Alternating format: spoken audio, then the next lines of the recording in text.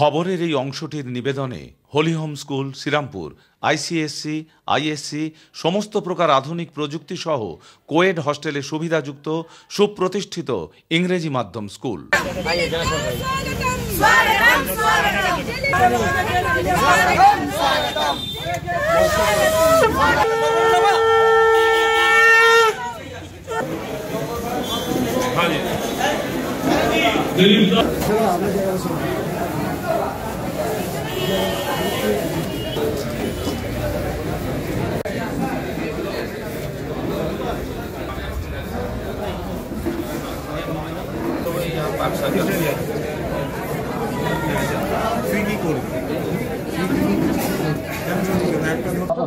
দেখুন, আমিও দেখলাম হোয়াটসঅ্যাপে কিছু প্রশ্ন ঘুরে বেড়াচ্ছে। জানি না সত্যি কি মিথ্যা।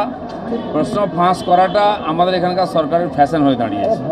পরীক্ষা হবে, প্রশ্ন ফাঁস হবে না, এরকম আজ পর্যন্ত ঘটনা ঘটেনি। তো পার্থবাবুকে ধন্যবাদ, উনি সেই ট্রেডিশনটাকে বজায় রেখেছেন। সরকার তার মতামত জানিয়েছে ইলেকশন কমিশনকে। স্বাভাবিক যে সরকার এসে সুবিধা মতো ভোট করার চেষ্টা করবে, তাতে দেখা যাচ্ছে পনেরো দিনের বেশি প্রচারের সময় পাওয়া যাচ্ছে না পরীক্ষার পরে।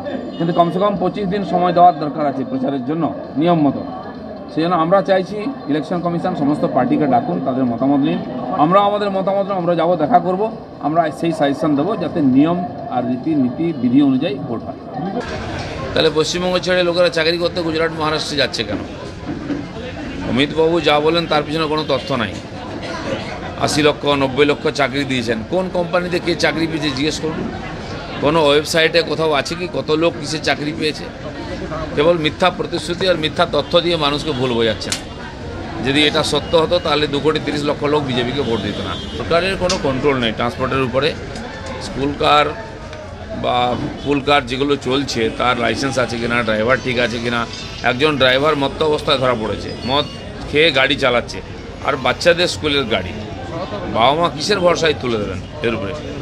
সরকার এবং পুলিশের উপরে নজর দেওয়া উচিত, যাতে এ ধরনের দুর্ঘটনা অ্যাভয়েড করা যায়। পৌরসভা ভোট যথাসময়ে হবে, বিজেপি তার জন্য প্রস্তুত। প্রস্তুতিও চলছে সব জায়গায়। পুরো শক্তি দিয়ে আমরা লড়াই করব।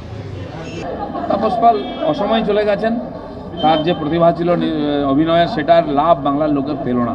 দুর্ভাগ্য এটা আমাদের। এবং যে পার্টিতে উনি জয়েন করলেন, সে পার্টির যে কালচার তার পরিণামস্বরূপ তাকে অনেক কষ্ট ভোগ করতে হয়েছে। তার আত্মা শান্তি পাক, অনেক কষ্ট পেয়েছেন উনি। আর বাংলা একজন ভালো অভিনেতাকে হারিয়েছে প্রতিদিন নতুন নতুন খবর পেতে খবর সোজা সাপটা চ্যানেলটিকে সাবস্ক্রাইব করুন এবং বেল আইকনে ক্লিক করুন।